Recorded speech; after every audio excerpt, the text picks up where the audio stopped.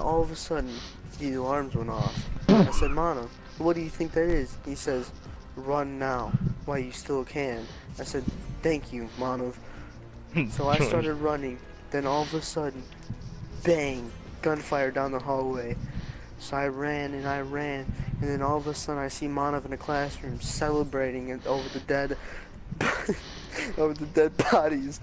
So I hid like a bush and tried to hide from Manav so he didn't fucking kill me. But then, it happened. Manav opened the door. I was so embarrassed that I couldn't run. Then all of a sudden, he put dynamite in my hands. He said, You're about to be one hot dog. And then,